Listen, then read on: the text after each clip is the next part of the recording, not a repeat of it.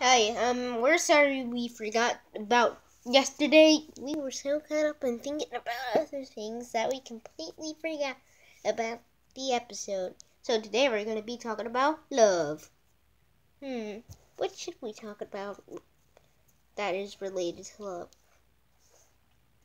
Well, um, love was created because the Roman soldier wanted to, um, marry a wife, but the emperor thought that peop- that fight soldiers wouldn't fight as well if they had a, a family to care about.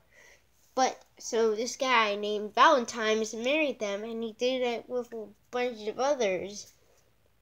But the emperor executed him for no reason other than he broke a law. Yeah, that sucks, but I'm glad he's been remembered as a holiday forever. I don't really like those swan boat rides. Yeah, I mean, when because if you don't have a date, you're basically stuck on a swan that's going to be on water. And it's creepy how they're animatronics. You could literally throw the water on them. They would malfunction and they would say something creepy like if they were saying, Hey, Hi, welcome to the boat of love. They would say, I will kill you in your sleep and I will kill you. It's very disturbing, and not only that, doesn't help that splinters exist on wood. Worst of all, there has been a, I'm not sure, but there's a rumor that there is a swan boat ride that will lead you to your inevitable death, that leads you into a canyon to be smashed down into nothingness.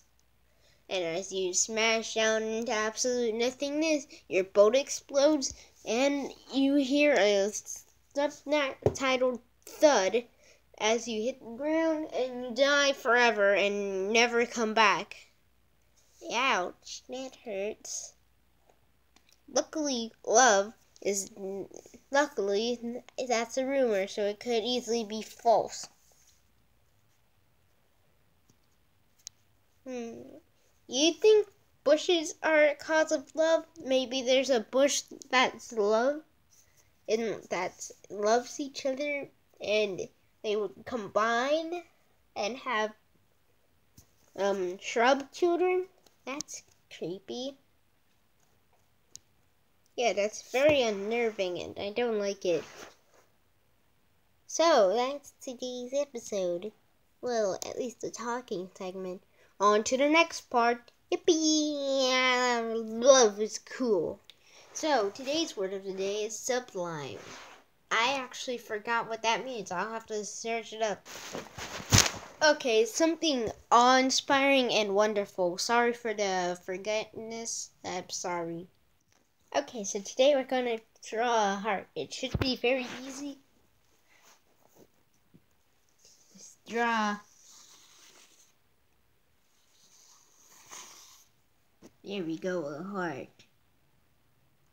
It's very easy to not screw up. You just do what I just did.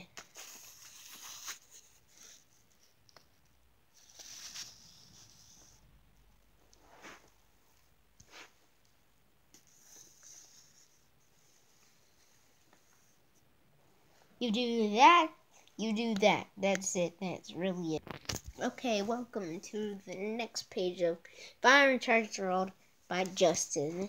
Fire and Charge the World. I let the dinos come back, make video games be real, have time machines, and also have my very own aquarium.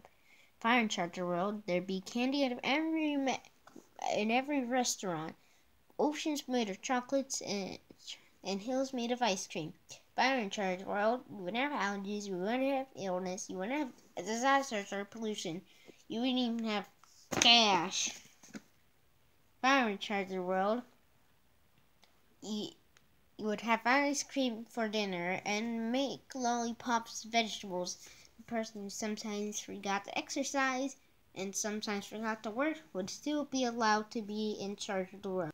We are truly sorry for forgetting about yesterday. Yeah. We were trying to brainstorm ideas. Don't worry though, that was the only day we're probably going to skip. So goodbye.